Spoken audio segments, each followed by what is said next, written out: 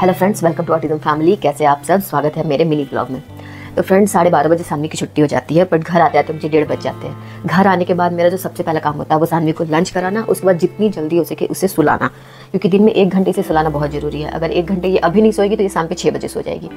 तो ये शाम में अगर सो गई एक घंटे तो फिर रात में ये सोना मुश्किल कर देगी। तो मेरा शुरू से एक रूटीन है कि स्कूल से आने के बाद या स्कूल जब नहीं था, तब भी दिन में लंच कराने के बाद मैं इसे एक घंटे के लिए सुलाती हूँ।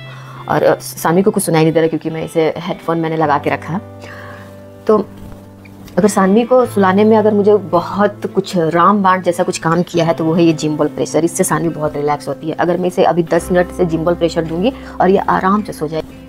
पहले मैं किस तरह से प्रेशर देती थी वो मैं आपको आपका पहले का एक वीडियो में अभी शेयर ज़रूर करूँगी। अगर आपका बच्चा बहुत हाइपर है, इस तरह से प्रेशर नहीं लेता। नॉर्मली बच्चे ना स्टार्टिंग में वो इस तरह से आराम से लेट के प्रेशर लेने वाले नहीं होते हैं। तो उनको रैप करके प्रेशर देना पड़ता है। तो मैं कैसे रैप करके सानवी को प्रेशर देती थी? और ट्रस्ट में बच्चे बहुत रिलैक्स होते हैं। सानवी को इससे बहुत फ़र्क पड़ा है। सारे बच्चे ऑटिज्म में बिल्कुल अलग होते हैं। ज़रूरी नहीं है कि सानवी को इससे बहुत ज़्यादा फ़र्क पड़ा है तो सारे बच्चों को इससे फ़र्क पड़ेगा। बट क्योंकि मैं यहाँ पर बस अपनी कहानी शेयर कर रही हूँ तो मैं सानवी के बारे में ये कह सकती हूँ कि इससे तो बहुत ज़्यादा इससे बेनिफिट मिला है।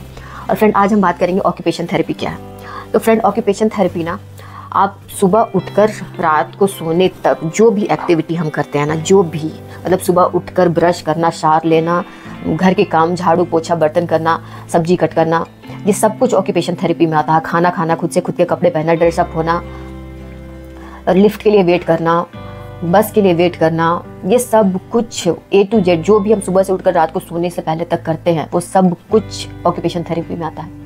तो इन बच्चों में सेंसरी प्रोसेसिंग जो है, वो वीक होने की वजह से और जो इनकी मोटर स्किल्स है, वो वीक होने की वजह से ना, ये ठीक से वो सब कुछ नहीं कर पाते हैं। और हमारी सेंसरी और मोटर स्किल सब कुछ ठीक है तो हम ये सारी चीज़ें बड़े आसानी से कर लेते हैं। तो बेसिकली ओटी के थ्रू हम किसी भी इंडिविजुअल को ना एक इंडिपेंडेंट लाइफ वो कैसे जी सकता है, उसमें हेल्प करते हैं कि वो सुबह से लेकर शाम तक के सारे काम खुद से कर सके, यही ओ है। और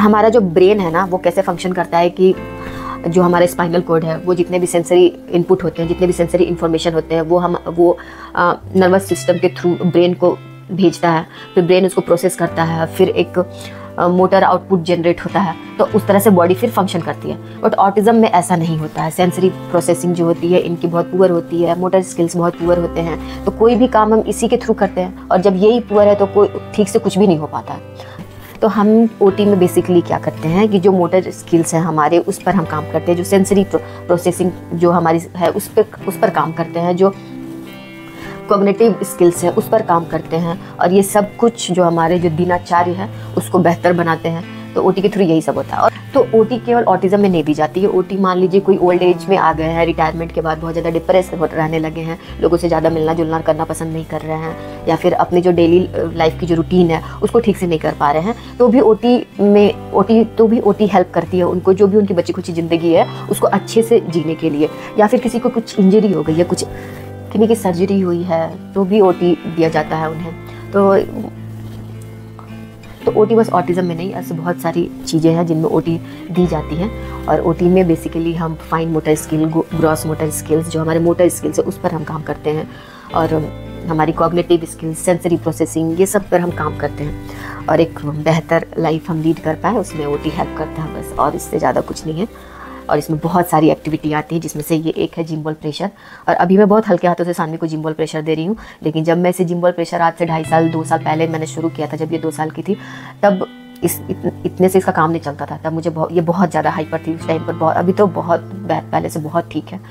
तो उस टाइम पर बहुत हाइपर थी तो बहुत इंटेंस बहुत प्रेशर से इसे जिम बॉल प्रेशर देना पड़ता था और मैं इसे रैप करके जिम बॉल प्रेशर देती थी। और मैं अभी जो भी इसे दे रही हूँ ना, मैंने, मैं खुद से ही ऐसे कुछ आइडिया ईजाद करके मैं नहीं दे रही हूँ। ये सब कुछ मैं प्रॉपर थेरेपिस्ट से मैंने सीखा है कि कैसे देते हैं बच्चों को। और सानवी को ये ये जिम बॉल प्रेशर रामबान का काम किया। आप एक बार ट्राई करो, हो सकता है आपके बच्चे को भी ये काम करे, लेकिन ज़रूरी नहीं है कि जिम बॉल प्रेशर आपके बच्चे को भी उतना ही इफ़ेक्टिव रहेगा, क्योंकि ऑटिज्म में सारे बच्चे अलग होते हैं, सारी फैमिली अलग है, सारी सारे बच्चे ऑटिज्म में अलग होते हैं, ठीक है? तो नेक्स्ट वीडियो में हम बात करेंगे ऑटिज्म